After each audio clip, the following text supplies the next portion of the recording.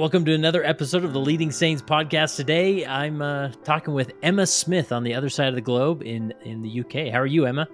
I'm very well, thanks, Kurt. Awesome. It's half Now past we- nine here, so it's a bit late, but I'm I'm I doing know. well. And it's just another afternoon for me in the United States. So, but I'm so glad we found a time to connect. And I must say, we we got to start start here. You have the most Latter Day Saint name I've ever heard. I mean, Thank uh, what uh, did you get that a lot? I mean, just how cool it is to to be the namesake of a wonderful woman. Well, when I got married, my mum was very happy, and she kept saying, "Emma's going to be Emma Smith," because obviously I wasn't Smith first of all, and then I became Right. Smith. So um, yeah, and my counsellors loved it, and yeah, it's it's a cool name to have. It is. It is. That's very cool. Um, now, and so, are you born and raised in the church then? So my mum joined um, the church when I was two and a half, and yeah, and then we kind of went to church, and then when I was fourteen, I decided to leave because we moved house, we moved ward. My mum um, broke up with her husband, and I just found it really difficult to go to church to start a new Mm. ward, even though they were really lovely and the youth were really lovely. And slowly but surely, I trickled away and um, and then I came back another 15 years later. Wow, wow, and and now you've sort of been faithful ever since. Yes, I've been back for nearly 13 years. Oh wow, that's great. I love to hear those stories. Um, and uh, what what city are you in there? So I'm living um, Buckinghamshire, so I'm at High Wycombe. Um, that's our kind of our nearest ward for where I Okay. live. And, and where's that in relation to uh like a London or a large Okay, metropolitan so area? Win- Windsor Castle's like 20 minutes away to Okay. drive. Oh, cool. You've heard of Windsor. Castle? Of course, yes, Yeah. of course. awesome. Now, and you've had opportunity to serve in, in various places, but uh, you've you've been you spent a good amount of time in the Young Women's Organization. Is that right? Yes, so I served as Young Women's President for nearly five years, and now I'm in the stake um, second counsellor. That's great. I, That's I great. was released at December. I was released um, at Christmas time, and then oh, nice. literally a month, and then I was called Yeah. again. Nice. And so, I mean, how would you describe just uh, just speaking generally about your ward or stake, or I mean, what is it like being a member in in your in your city or in your ward, as far as like you know how how far are you how, how far are you driving to church, or um, you know what's the basic demographic and layout there? Okay, so our ward is um, about 20 minutes away from where we live, and it was quite a small ward um, over like the COVID times. And then afterwards, we had um, we had some news that we were getting some um, church offices built close to where we where we were living, and we would kind of count the numbers, and there wasn't many people in our ward, and we got promised they you know they said look don't worry. The numbers are going to come, people are going to come, and uh, and it didn't happen for quite a while, and then literally all of a sudden, so many like couples, families were moving into our ward, and it's tripled the size, and it's literally amazing. Um, yeah, it's it's really exciting to be here at this time. And it's very multicultural. There's people from all over the world that's actually like working for the church as well. Oh, so it's, re- it's really interesting. Yeah, it's lovely. So, like, did the church like build like an office type building there, or they're Yeah, for church employees who you know work in the UK for the church? yeah, exactly that. Wow. Exactly that. And and where it is is kind of um it's called Wooburn Green where it is. And when you know when we heard it was going to be there, we were like, really Wooburn Green? You know, that's literally down the road, and yeah, it's very special. That's cool. So there's been some nice opportunities for the youth as well, for the young men to to serve and do car parking duties when they've had like um, general authorities come over and stuff. Oh wow! And so that's naturally just drawn more membership into your area as as people get jobs and things working for the church. Yeah, absolutely. So it's very, very different going back to a few years ago. Now there's, you know, it's hard to keep up with who's coming coming in and the names of people. And I've never known it like that. Yeah. So it's exciting. So over your years of serving as a young women's president, uh, on average, like how many young women did you have in your in your ward? So we had when I was serving, we had six young women. Um, and while I was there, they really grew up in those nearly five years. So I look back on pictures of them, and they're these, you know, small little girls that have just joined. And then when they leave, you know, they're serving their missions and going to university. And yeah, that's fun. Yeah, it's lovely. It's really lovely to see them grow and change and develop spiritually and, you know, emotionally.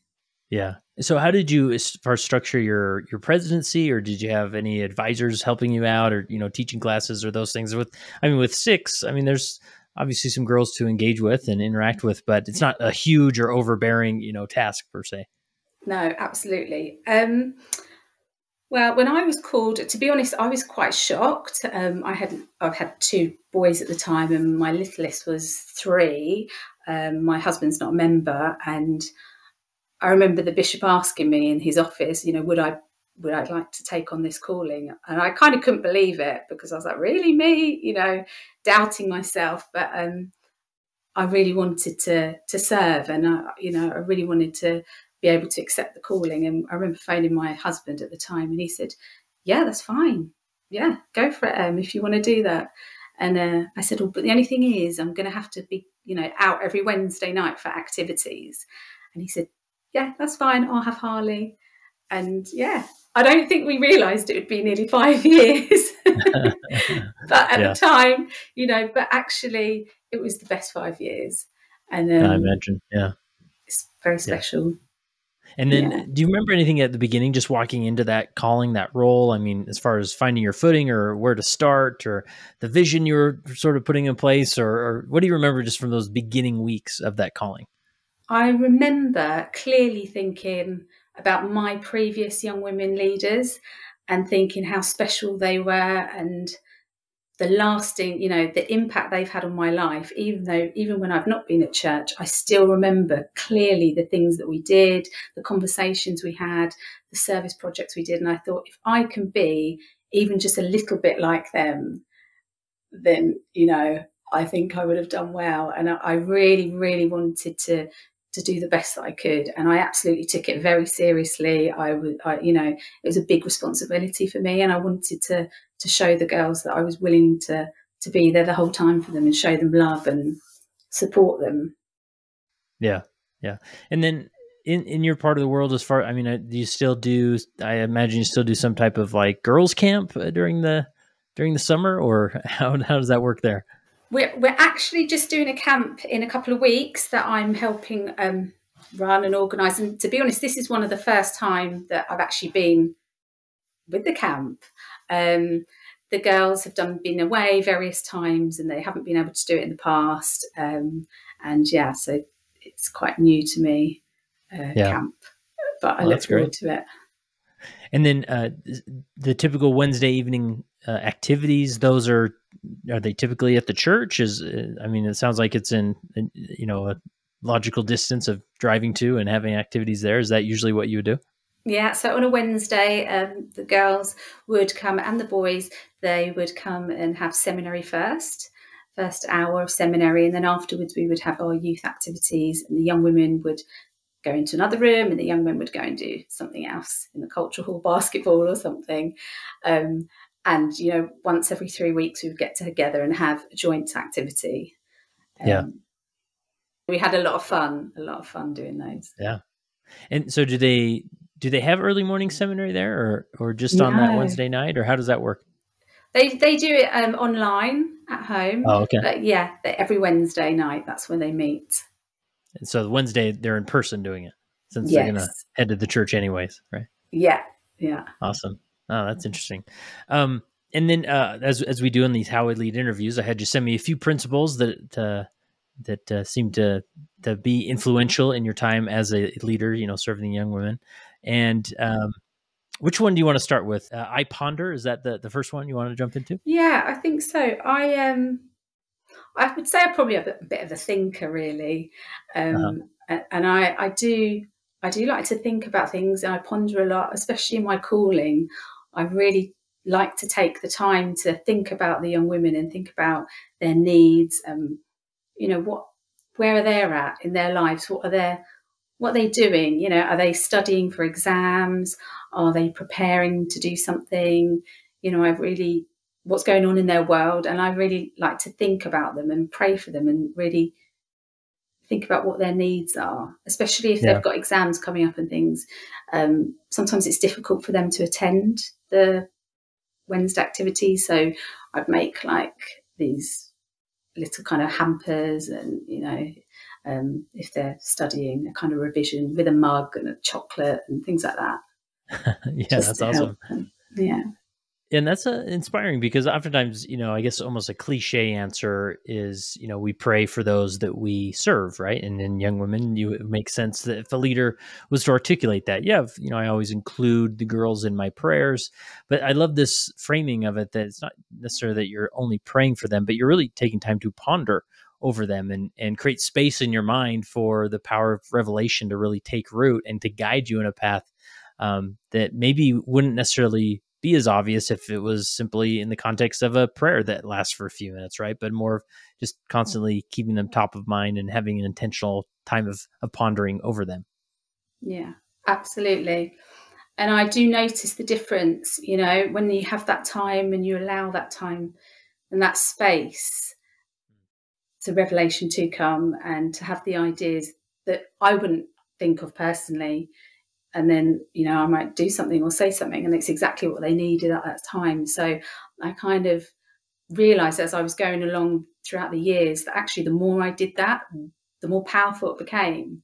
Mm. And so I love to do that. I love to you know create that space to be able to have that time to think about the individual and do, are there any stories or experiences that come to mind of uh, maybe something that resulted from taking that time to ponder over uh, those that you served?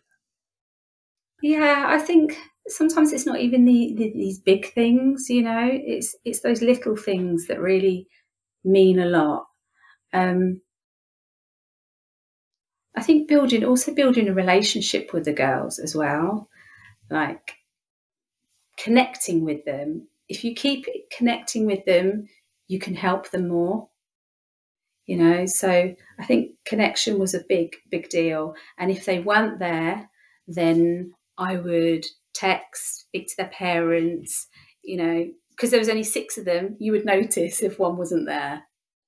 Yeah. And and yeah. so I would make it I'd make a thing. Like we really missed you. And we generally, generally missed, you know, I generally missed the girls. I loved the girls. And if there was one missing, it didn't feel the same without them. You know, so I would text to say, We really miss you. Is there anything that we can do? Or can we give you a ride next week? You know, try and arrange lifts if if they were struggling with lifts or, you know, just be there for them at the end of the phone, even if they couldn't necessarily attend in person. Yeah. Is there anything else that comes to mind? I mean, if you were coaching maybe a, a new young women president to really connect with those teenagers, sometimes it's easier said than done, right? Uh, is there anything that comes to mind that really would help an individual more authentically connect with the girls? Yeah, I think um, finding out their talents quite early on and their interests is really key because then you kind of know what they like and what their interests are. Um, we used to do goal setting and we at the beginning of the year they would make this um, vision board and you know they'd put all their visions and their ideas on it and you could really tell the type of you know girl young women that they would like to be. And um, that was really interesting seeing their vision boards and uh, and I think also if if you know what their talents are there was one one young lady who um, she was really talented and a really wonderful artist. And so on Sundays, we would ask her to scribe on the board, and she'd always mm. do such beautiful pictures and, you know, be able to draw and write beautifully. And she really felt like she was, you know, helping, helping the class. And she loved that, standing up and doing it. But also, we were so grateful for her. And I think that that was really good because we could connect and we were like, oh, we need you, we need you today. And she'd say, yeah, you know, she'd get really excited. So that kind of became her role. And um, yeah, she loved that. Yeah. Wow. I, you know, that really is the sweet spot is obviously we want everybody, you know, especially in our wards or organizations to find places to serve. But when you can carve out a place for people to serve in a place that is in alignment with their talents, like it really does, is transformational for that individual. They really feel like they're contributing in a way, in in a unique way. Yeah, absolutely. Absolutely. I think, you know, everyone's got their own talents and their gifts and it's just finding finding out, speaking to the girls, doing different activities with them as well because sometimes you find out wow you're actually really really good at this crafting and sometimes they don't even know that they're they're really talented at something so it's it's interesting and it's um it's great. Having those experiences with them and you mentioned the the vision board that you put together. I mean, this I think there's a, a strong principle in that. That oftentimes, especially with maybe those teenage years, you're not going to get a long response out of it when you just ask them, "Hey, what are some of your interests?" Right? Um, they may just shrug their shoulders, and you wonder why can't why don't they answer my question, right? But engaging them in an activity like that, where it's almost in a roundabout way, you you discover some of those uh, some of those interests, then that that's more successful than you know just pestering them with questions, right? Yeah, and I think we would do that. We'd kind of do it at the beginning of the year, like in January after the Christmas. So it would become like our news resolutions, but also our visions boards for the year.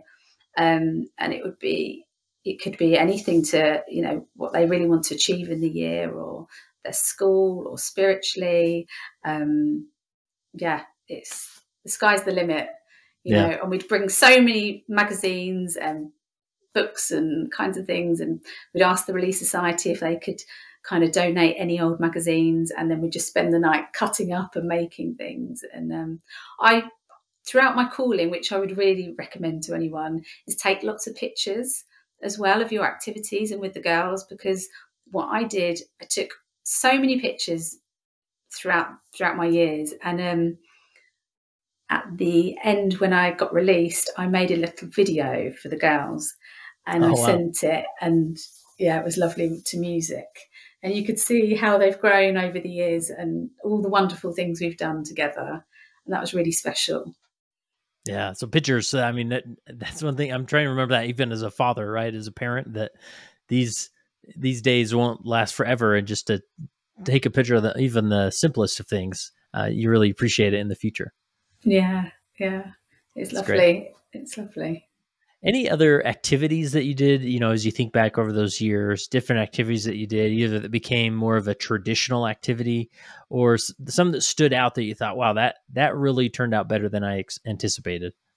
Yeah, we we had a lot of activities and um there's a couple of things. I think you know, there's that fine balance of trying to get the youth to run the activities and them actually happening. Um, and then you know it we didn't want to take control of the activities you know we wanted them to run run them and there was um we had car washes that we would do for raising money for camp and we had activities where we'd have um, halloween parties and the youth would play games for all the primary so we'd invite all the primary and then we had another activity where the youth actually physically made games out of wood um, one week, and then the following week that we invited the primary, and the primary actually played all the games that they made, that the youth had handmade out of the wood and they'd carved, and they absolutely loved it. The the primary children loved loved doing that.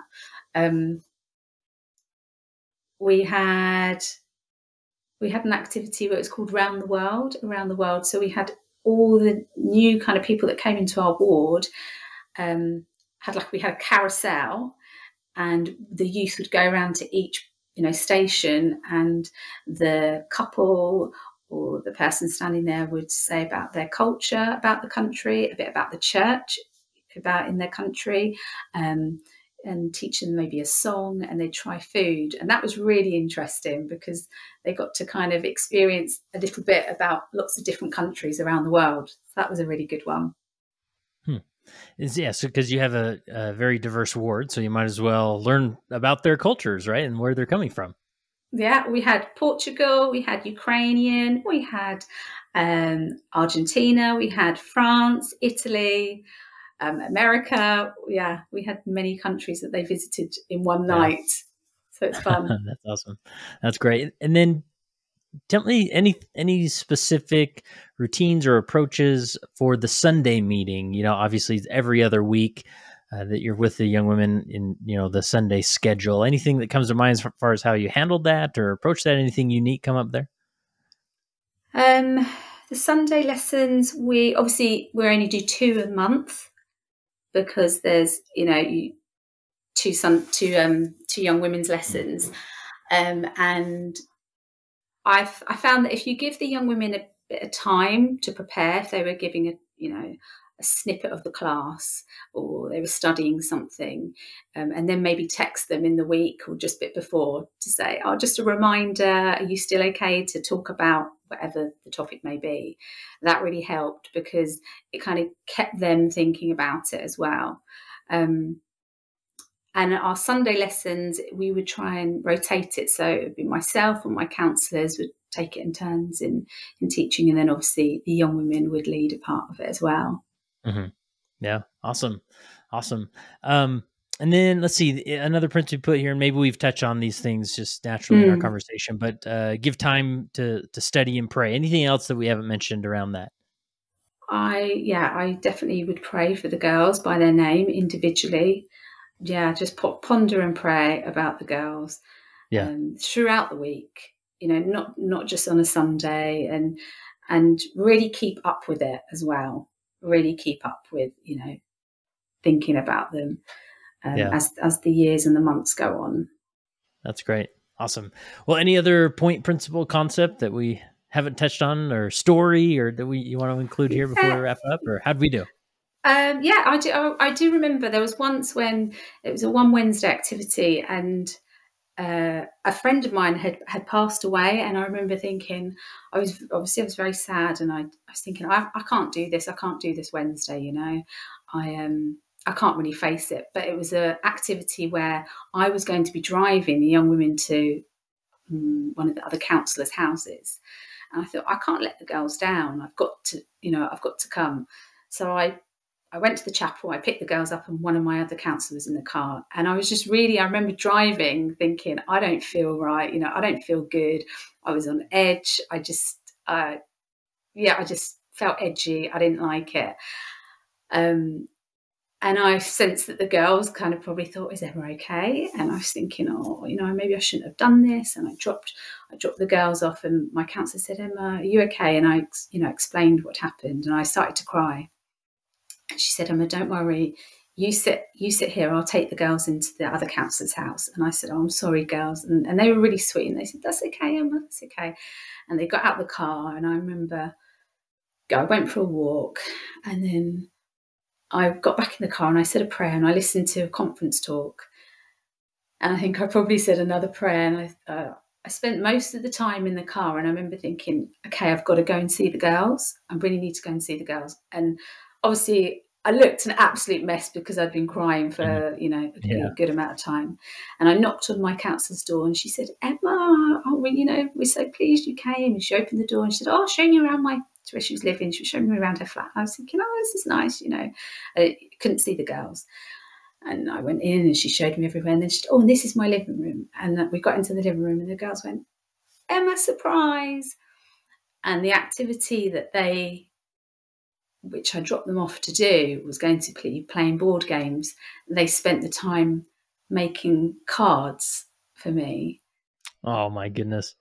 And I remember, and this the all the lovely words that they put in it, and I remember thinking like, wow, you know, just I was so surprised and so shocked that wasn't the activity that they were going to um, this council's house to do. But apparently, um, the class president said, girls, I think what we need to do is make cards for Emma. And um, yeah, and I, I just, I cried. I was crying more. But that was a real touching moment for me because I could have quite easily not ten- attended that Wednesday. You know. I felt vulnerable. I was thinking, yeah, maybe not not go, but actually by going and the girls seeing me be vulnerable was really healthy for them because they were able to serve me and after I was serving them. So it was very special, you know, mourn with those that mourn and and, and you know and stand in comfort. And they they really gave me comfort at that time. And I'll always remember that always remember that day. Powerful. Wow. I love those stories just when you know that love is reciprocated right? And um, you realize just the difference that you make in the lives of, of these these young women. It's awesome. That's great. Yeah, and I think I think I didn't realise I you know you spend your week Wednesday going in and in the chapel and and I I don't think until until I kind of stepped away and and am now released. Not you know I got released. I didn't ask to be um, released, but um, yeah, now I can look back on those times and think they were hands down the best years of my life, without yeah. a shadow of a doubt. Yeah, that's awesome. Yeah. Well, Emma, the last question I have for you, uh, as you reflect on your time as a leader in, in the Young Women's, how has being a leader helped you become a better follower of Jesus Christ? I am definitely a different person than I was when I um, before I had my calling in the Young Women's, and taking a calling and accepting a calling is the best thing I could have ever done because it has helped me to learn how to serve people and to show Heavenly Father's love and be an instrument in His hands. And I'm eternally grateful for that. And by doing that, I think my children have had a better mum for it as well. Um, I've definitely learned to be more patient and have more love and the the young women have taught me so many things that I can't really describe in words. It just will stay in my heart forever.